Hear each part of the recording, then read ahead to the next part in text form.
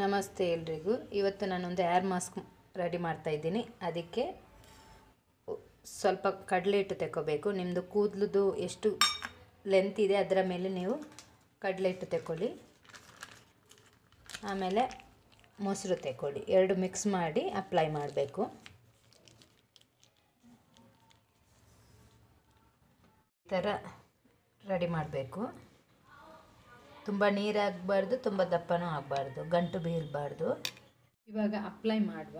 ಕಡಲೆ ಹಿಟ್ಟು ತುಂಬ ಒಳ್ಳೆಯದು ಕೂದಲಿಗೆ. ಕಡಲೆ ಹಿಟ್ಟಲ್ಲಿ ಪ್ರೋಟೀನ್ ಇರುತ್ತೆ. ಸೊ, ಇದು ಕೂದಲು ಲೆಂತ್ ಬೆಳೆಯಲಿಕ್ಕೆ ಹೆಲ್ಪ್ ಆಗುತ್ತೆ. ಹಾಗೆ ಜಾಸ್ತಿ ಕೂದಲು ಗ್ರೋತ್ ಆಗಲಿಕ್ಕೂ ಹೆಲ್ಪ್ ಆಗುತ್ತೆ. ಹಾಗೆ ಮೊಸರು ಮೊಸರು ನಮ್ಮ ಮನೇಲಿ ಇದ್ದರೆ ಅದೇ ಯೂಸ್ ಮಾಡಿ ಇಲ್ಲದ್ರೆ ಅಂಗಡಿದು ಯೂಸ್ ಮಾಡ್ಬೋದು.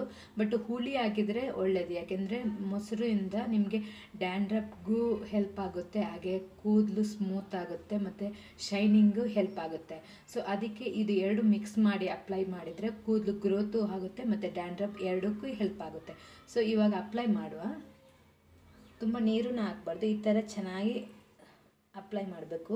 ಯಾರಾದರೂ ಅಪ್ಲೈ ಮಾಡೋರಿದ್ರೆ ಒಳ್ಳೆಯದು ಯಾಕೆಂದರೆ ಎಲ್ಲ ಕಡೆ ಚೆನ್ನಾಗಿ ಅಪ್ಲೈ ಮಾಡಲಿಕ್ಕಾಗುತ್ತೆ.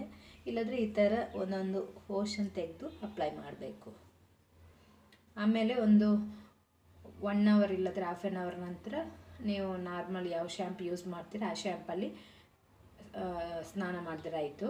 ಹಾಗೆ ಇದು ನೀವು ವಾರದಲ್ಲಿ ಟೂ ಟೈಮ್ ಎಲ್ಲ ಅಪ್ಲೈ ಮಾಡ್ಬೋದು.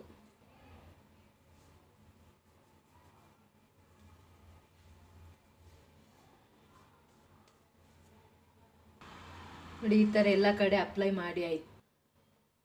ಫುಲ್ ಅಪ್ಲೈ ಮಾಡಿದ್ದೀನಿ. ಇನ್ನು ಒನ್ ಅವರ್ ನಂತರ ಸ್ನಾನ ಮಾಡಿದ್ರೆ ಆಯಿತು. ಇಲ್ಲಿಗೆ ಈ ವಿಡಿಯೋ ಏನು ಮಾಡ್ತಾ ಇದ್ದೀನಿ. Bye take care